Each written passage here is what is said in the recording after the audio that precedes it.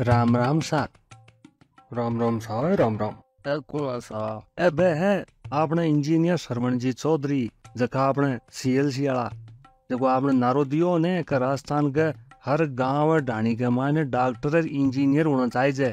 तो ए भाई है कई लोग तो है बड़ी बड़ी बातें ही कर जाने, पर ए सरवण जी ने आके जचगी बा एक कर दिखाई। नौकरी छोड़ और उन्नीस सौ छियानवे सीएलसी की स्थापना करी।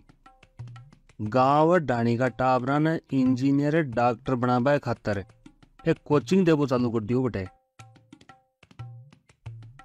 गाँव का तो कियो का बावड़ो है, नौकरी को छोड़िया करे है और ऊपरों इंस्टीट्यूट ए कोटा में चल रहे आपने सीकर में कौन चल रहे पण ये आदमी को जुनून कोचिंग का क्षेत्र में इयान की धूम मचाई का कोटा का सारा का सारा बड़ा बड़ा इंस्टीट्यूट सीकर में आर आपकी ब्रांचा खोल। ली जना आज आपनो सीकर शहर देश का दूसरो बड़ो कोचिंग हब बन गो वो तो ई आदमी के जुनून को परिणाम है जो को प्रधानमंत्री मोदी अपना सीकर ने शिक्षा नगरी को खिताब दियो।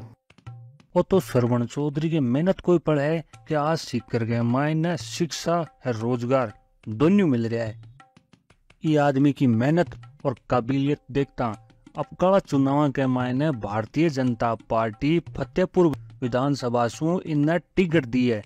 तो आप आपनो फ़र्ज़ बने कि का आदमी ने अपन जितानो है और अपना क्षेत्र ने आगे बढ़ानो है। देख लो मत बोर्ड दे अब तक देख लियो।